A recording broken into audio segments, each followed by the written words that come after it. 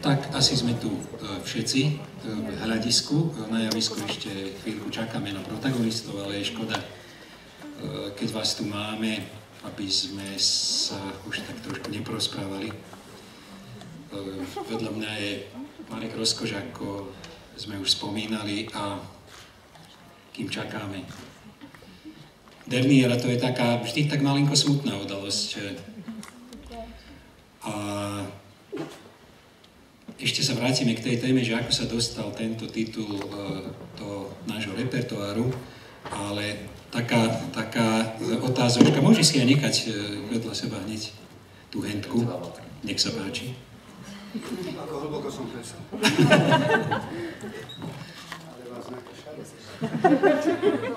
Otázka pre Mareka. Dobrý. Vítam aj Ivetku. Je to smutná udalosť? Marek. A je. Je. E, mne toto predstavenie veľmi, veľmi bude chýbať, veľmi mi prischlo a k srdcu, keď to tak mám pateticky povedať. A je to hlavne kvôli tomu, že sme traja. A veď chodívate k nám do divadla a vidíte, že a vo väčšine predstavení je nás viacej, priemere okolo tých 8 až 10, v tých zámodských tituloch je to, je to väčšinou celo, celý súbor.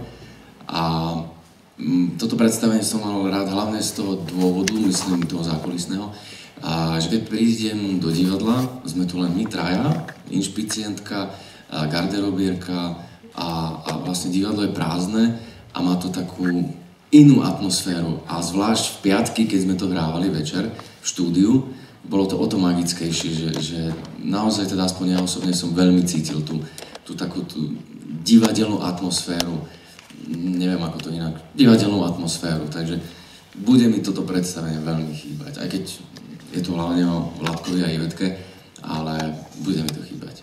Aj z, aj, aj z toho, myslím, významového hľadiska o tom, a, teda to, o čom sa rozprávame a,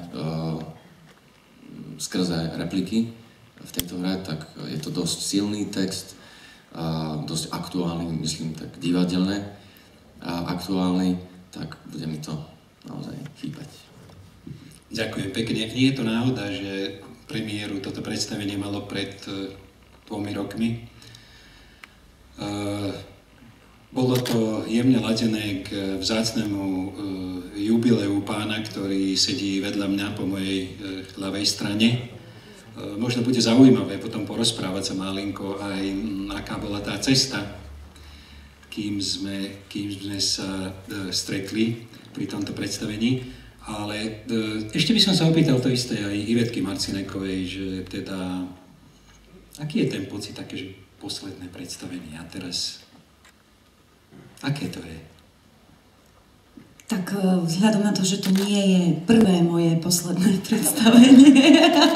Aha, tam ani nie je posledné tak v podstate akože istým spôsobom človek, uh, už keď sa to dozvie, tak je na to nastavený, hej. Nie je to mm, šok alebo prekvapenie, to je prvá vec. A myslím, že presne viem, čo Marek hovoril. Mm, ja mám veľmi pozitívny vzťah, lebo neviem teda, či viete, ale pôvodne toto predstavenie je štúdiovka. Hej, neviem, už ste si to asi vraveli, kým som sa nepredliekala, neviem. Je to uh, štúdiové predstavenie, štúdio je oveľa menší, komornejší priestor, čiže celkové tá atmosféra sama o sebe prináša niečo úplne iné ako toto veľké javisko. Takže už tým je... A ja takisto mám veľmi pozitívny, ako aj Marek, vzťah práve k štúdiu a práve ku komorným veciam. To je presne to isté, teraz sa rozprávame tak na diálku a kebyže spolu sedíme na káve, tak sa rozprávame úplne inak. Hej. Je to prosto intimnejšie, je to také... Čiže keď je vydarená štúdiová inscenácia, tak je mi za ňou vždy ľúto. Jednak je to intimný priestor, jednak je to taká intimná udalosť a hádam najintimnejšia pre e, protagonistu. Vládka Rohana. Vládko, aké sú tvoje dnešné pocity? No, otázka prečo?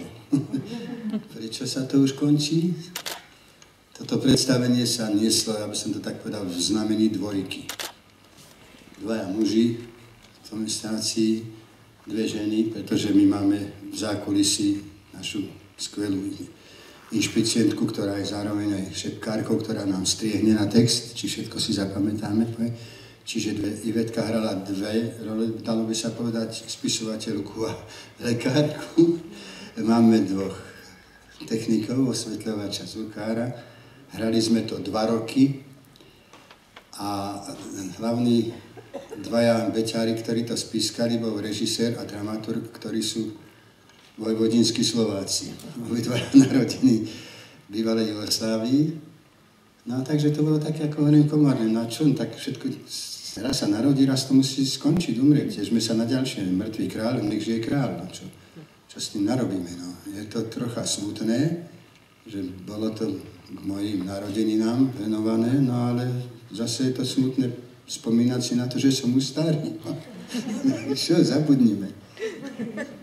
V jednej hre sme mali takú, takú kultovú repliku, že sentiment patrí k divadlu, takže tak sme to trošku aj e, sentimentálne otvorili e, celú túto debatu. Samozrejme, dostanete aj vy priestor na všetky možné a nemožné otázky, ale ide o to, že e,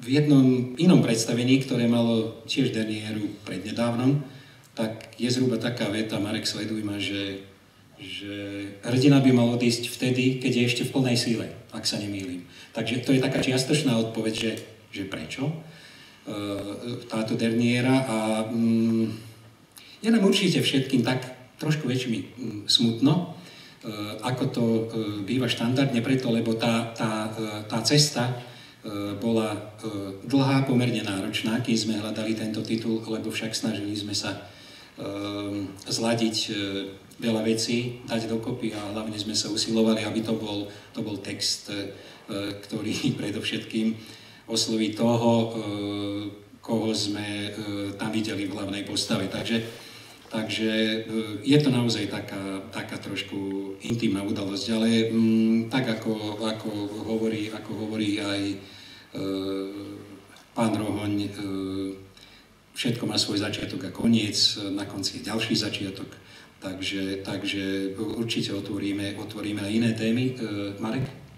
Ja len ak môžem malinko doplniť, keď, keď ste vraveli o, o tom texte, a, tak ak ste, ak ste odčítali, pre, aj preto sa mi teda tento text uh, veľmi pozdáva a páči, čo sa týka akože uh, divadelného ukotvenia, pretože ak ste spoznali tie tri esencie divadla, tak Vládko je vlastne, tá, začnem takto, Ivka reprezentovala tú, tú rolu autora dramatického textu. Vládko interpreta, a ja zase som prezentoval tú tretiu stranu, teda toho diváka, a, ktorý mal na to názor, aký mal.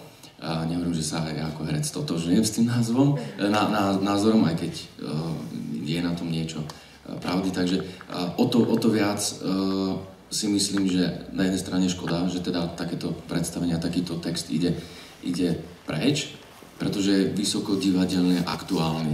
Tak len to som ako chcel doplniť, že že veľmi pekne rozpráva o tom, ako to divadlo principiálne funguje. By som mohol pokračovať v tom, čo si ty povedal, že naozaj tá hra, preto mi je to ľúto, že končí. Viete, keď dnes sa stretávate s ľuďmi von a spýta, kedy hráte, príklad poviem, čertice, kedy hráte to. My sa chceme, to, čo hovoril lekár, chcem sa zabaviť. Nechcem Áno, ľudia, tá doba je tak uponáraná, že sa chcú zabaviť, ale divadlo, ako sme tu aj počuli, nemá e, ten, ten, ten cieľ poučať, ale má cieľ pomôcť. Ja vám poviem príklad môjho vnúka. Učil sa, dostal látku Shakespeare, teda Štúr. Ale starky Štúr a Štúr a nevie to prečítať. Prišiel na predstavenie zo, zo školou boli, a už do smrti si bude pamätať o živote Štúra, pretože to za hodinu a pol videl celý jeho život. Darmo budete 18-ročnému alebo 17-ročnému chlapcovi, musí si prečítať Hamleta, nezaujíma ho to taká hrubá pichva. Ale keď príde na predstavenie, uvidí, zapamätá si to. Čiže je to také, že ako ty vraješ, poučiť sa. Je to proste pomoc divákom, a ako je tam aj ten text. No, preto robíme niečo viac než len pomôcť im, aby zabudli na tú hlúpu, hnusnú skutočnosť, ktorá je a chcú sa smiať, ale divadlo musí splňať aj tú úlohu, aby trochu pomohlo v rozhľade človeka. A preto mi je ľúto, keď niekto povie, že na vážnu hru nejdem. V tej vážnej hre sa ani nezabíja nikoho, ani nikomu neubližujeme, ale odnesie si z toho človek určite, určite hodnotný zážitok. V tejto hre sa harmonicky veľmi šťastným spôsobom prepájajú také tie veselšie pasáže e, s lirickými. Je to taká lirická komédia, dokonca by som povedal, že miestami filozofická komédia a jej autor Bengt Dalfors je 100% divadelník, ktorý veľmi dobre pozná javisko zákulisie a zároveň e, uvažuje v takých širších súvislostiach, e, keď ide o divadlo, také divadlo svet, svet divadlo, Takže to je to, čo nás v tejto hre tiež tak oslovilo a čo je takou nezvyčajnou e, pridanou hodnotou. E, preto sa to nehralo úplne ľahko, preto, preto to nie je taká e, štandardná komédia, zároveň to nie je dráma a vlastne je to, je to hovorím, taká, taká harmonická, harmonická hra, ktorá ponúka predovšetkým e, veľmi dobré herecké príležitosti a zároveň e, cez e, akoby takým zábavným spôsobom dokáže, dokáže e, podáľovať e, aj tie také hru, hlbšie vrstvy, e, poukázať na emócie, e, na ktoré sa veľmi e, nepoukazuje e, v komédiách.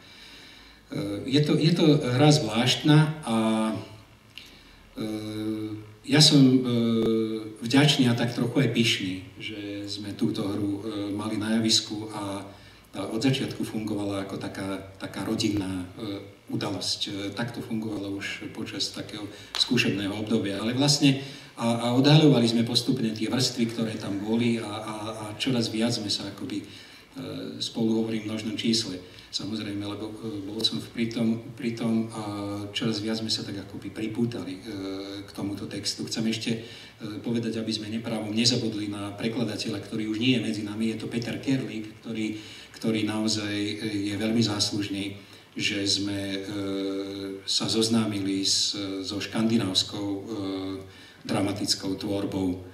On bol takým prekladateľom takmer dvorným Bengta Alforsa. To sú také trošku úvahy dramaturga. E, určite e, aj vás e, niektoré veci zaujímajú, takže aby som nezaplnil úplne ja egoisticky tento čas a priestor, nech sa páči. Keby vás zaujímalo čokoľvek, opýtajte sa pokojne. Lebo autobus. To nič? Môžeme ísť? Ono to väčšinou býva, že keď sa zdvihneme, tak potom je prvá otázka, ale to by som zatiaľ ešte nerobil. Nevidím nejakú zdvihnutú ruku? Áno. Nech sa páči. Keby som sa rada spýtala, že keď sa divadlo rozhodne naštudovať novú hru, tak má to nejaké svoje dôvody a nejaký postup, ale keď sa rozhodne, že teda už to stiahne, to skončí, že aké sú dôvody? ešte ste mohli hrať aj 12 rokov, že nie 2, ale 12. Ono je to vždy také komplexnejšie a táto otázka sa netýka len mňa, týka sa to, týka sa to viacerých úsekov, je tam e, viacej e, aspektov. E, ten prvý je naozaj ten, že ešte kým cítime to predstavenie, že je v kondícii, tak snažíme sa, aby to malo nejaký mm, taký, taký správny cvenk aj na konci tej svojej cesty, nie iba na začiatku. E, nemám pocit, že toto predstavenie nejakým spôsobom e, stratilo tú energiu. E, to určite nie, ale je to, je to, taká, je to taká kombinácia toho, že, že mm, ako, ako, to, ako to vnímame komplexne na úrovni, na úrovni jednotlivých úsekov, ktoré v divadle sú. To je taká odpoveď. Odo mňa teda. je to jeden z tých, akoby jeden, ale nie najpodstatnejší určite. A sú to autorské práva aj to, to nepovažujem za, za rozhodujúci uh, moment. Inak, e, ak môžem ja k tomu povedať, nie o to, že prečo to nehráme, ale túto hru mali na repertoári len tri divadlá. Spiské divadlo, kde hral túto postavu, čo ja už nebohý režisér pán Košický. A naše divadlo a hrá to štúdio Lasica Satinsky, kde pán Lasica hrá túto postavu už 14 rokov. Iné, iné divadlo to nehralo, pokiaľ viem tak ešte to hrali v Prahe a Plzni, hral to pán Zindulka, ktorý bohužiaľ asi pred mesiacom alebo ako zomrel. Inak ani v Čechách to nikto nehral.